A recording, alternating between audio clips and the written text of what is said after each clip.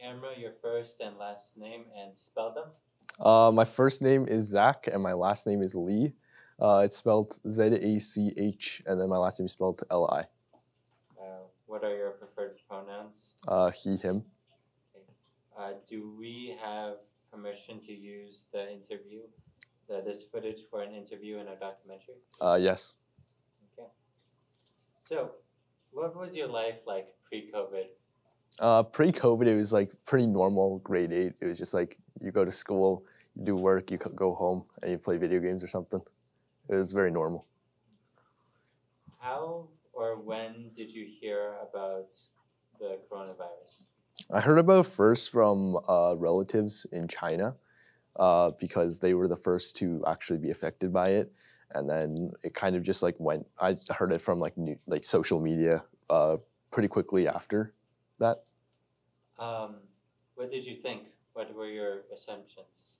Um, I thought that it wouldn't really affect us since it was all the way in China, and it didn't. Uh, it seemed very far away, but turns out it wasn't. What was your reaction to schools shutting down? Um, my reaction to schools shutting down it was expected because like at the time uh, there's there was like many reports of people getting COVID in Canada, but uh, I just didn't know how long. At first, I was quite happy because like you didn't really get you didn't have to go to school. It was like an extra long March break, but it got kind of boring after a while. Yeah. Um, are you involved with any sports or sports teams? Uh, I used to oh, well, well right before COVID, I played volleyball and then like tennis, uh, mostly. How did your uh, team handle the lockdown? Well, volleyball didn't continue. Uh, it was it ended in like January, but uh, tennis I just didn't play tennis in the summer. There's like because everything was locked down. How many complications, oh no, competitions and or practices were you in prior to the lockdown? How did you do? Uh, right before the lockdown, I didn't really practice that much. It was just like I- I just went like once a week for volleyball, but that's it. And then uh, after uh, it started, well, we just didn't go. Did you stay in contact with your friends during lockdown? Yeah, we basically like it was, like every day we would like get on Discord and just call for basically the whole day, just doing like homework or watching stuff or like playing video games or something. Uh, how much of effect do you think COVID had on your social life? Uh, between me and like the friends I already knew, there wasn't that much of an effect since we were still talking to each other every day and didn't really feel like anything changed. It's just it, you just missed out on the opportunity to meet like new people that you normally would if you went to school normally. So none of your relationships really changed. Uh, not really. How did your daily schedule change for education? Uh, it went from actually waking up early, like going to school and then coming home, uh, to just like s- sleeping in a bit and then doing work in like doing your school work at like like later in the day or something, or maybe not even doing it, and just doing random stuff all day that wasn't very productive. Were your grades impacted in any way? Uh, for, from COVID, no, because there's do no harm. So no, no matter if you did work or didn't do work, you would still have like at the same grade or higher than what you ended with. So I did like a few activities just to, so I was able to get honors, but that was about it. So you think your grade was higher than it actually would have been, Yeah, definitely. Everyone's grades were inflated. right? How, how did you feel about the do no harm policy in general? Um, I felt it was fair since like there, you can't judge you can't judge someone's like capabilities um, after switching envi- like to a drastically different environment. Uh, but at the same time, uh, like making it do no harm, like discourage people from actually learning and doing the work that they were supposed to. So Are there any teachers or teaching styles that stood out to you? Um, not entirely. It was it was very uh, it was the teaching wasn't really teaching. It was mostly the teachers just like sent you like um, at least what our teacher did was they sent us like one website with like like ten different assignments every day that you were supposed to do. Um, and they weren't even related to like any particular subject. It was like mostly language, but there's some math and stuff. It was really random. They did not know how to teach online, but it wasn't really their fault. So you don't think they handled it that well? they handled it to the best of their ability, but in terms of like actually learning things, you didn't really learn anything. Okay. Describe a typical day of what online school was like. Uh, mostly just like you wake up whenever you decide to wake up, and I would just get on, get in a call, and then uh, whenever we felt like doing work, we would just do work. But otherwise, it was just doing random stuff, playing video games, stuff like that. How did you feel during lockdown?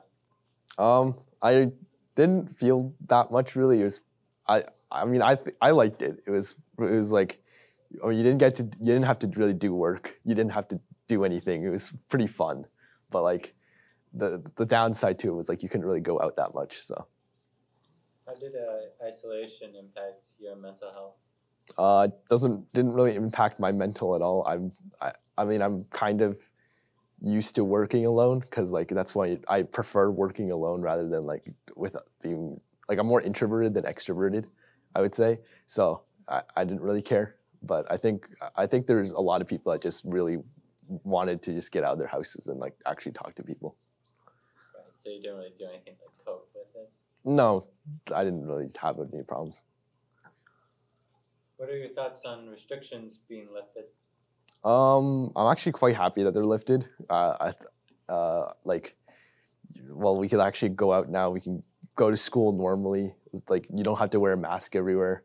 And for the most part, I, at least at our age, COVID doesn't really affect us as much as compared to people that are older that are more vulnerable to it. So I think it's great. Do you think COVID is over? Uh, as of now, not really, and I don't think it will be for a while. But I think people will get used to it, kind of like the flu or the cold. Right. So it will, it will stay with us. Yeah, I for a long will.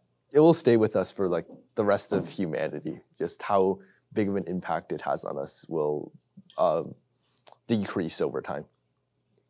What was a mistake that was made in the way we handled COVID, as in I think as government? Um, in in my opinion, the way they handled the vaccines was really bad. It was like, at least like, um, for the people that weren't vaccinated, you couldn't really do anything, even though it didn't. It, it like getting the vaccine didn't decrease the chance of you having COVID. COVID. It only decreased the um, the effects of it. So for those who didn't get it, it- like you, it, it's not really fair that you can't go anywhere. You'll still, everyone will still get COVID the same. It's just how much of an effect it has on you. It just uh, differs. Do you, what do you think was handled well? Um, I think the whole uh, masking and like sanitation thing was handled pretty well. Uh, it was very, it was, at least it was very fast, especially like at school. I'm pretty sure it was like one class where a kid was sick, well, not even COVID, but then what, what like in a, my friend's class, and what happened was they all had to evacuate the room. There was like people with like like suits that came in or something. They had desanitized the whole room, and they uh, they had to they had to move to a different room for the rest of the day. Wow. So Um, did, did any part of you like change during COVID? Uh, not. Uh, at least like for me, not really. I kind of just stayed the same person. I mean, I grew up normally, but other than that, I was just the same person. How do you decide what information would you trust on about COVID and news in general? Um, I mean, there you can look. At least how I always thought of it is, you can look at the news as like a kind of a trend of how, where COVID is, but you don't want to look at the exact numbers. Like especially the COVID cases, there's no way they can track every single case, and of everyone. You just you can kind of see um, of the people they are tracking. You can see if it if COVID is increasing or decreasing, but you can't say for certain that it's like there. Uh, the most trusted sources are from like the medical professionals and the government, obviously, but as like as in specific information, you can't really trust all information like completely. You gotta use your own thinking a little bit. What's the question nobody's asking? About COVID, Yeah, I assume so. Uh, I guess like I don't know. I, I, the only question I have was like when when when is it ending? But like I don't know about a question that no one's asking. So, what do you think will happen in the near future with COVID? uh, in the near in the near future, I mean, uh, they're probably going to make more vaccines, more booster shots, and whatnot. And it's going to uh, and the overall like number of cases of COVID might decrease because like people are more immune to it. Um, that's about it. I think the restrict I think the restrictions are probably gone for good. There's there's really no reason for them to bring it back at a time like now. What lingering effects do you think COVID will leave in its wake? Um, probably long-term health effects. You can probably see that right now in some people. There's not enough. There's not enough uh, information about COVID and research done that we know know for a fact what COVID's effect is on the human body. We can kind the, the medical specialists kind of know, but uh, we'll only see the long-term effects when the time comes. So. How has COVID altered your view of your own future?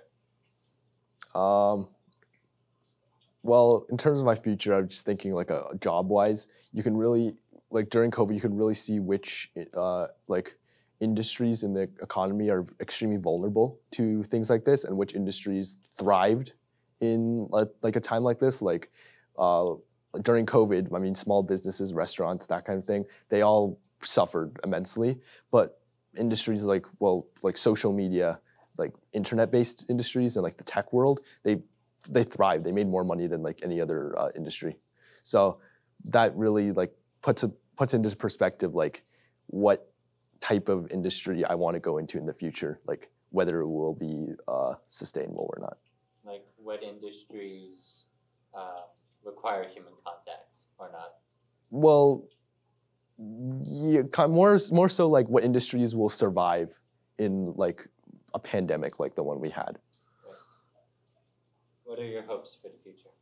Um, well, obviously, my hope is that COVID goes away completely, but like, uh, like realistically, just that the the, the restrictions are all over, then that we don't have to go back to the lockdown again.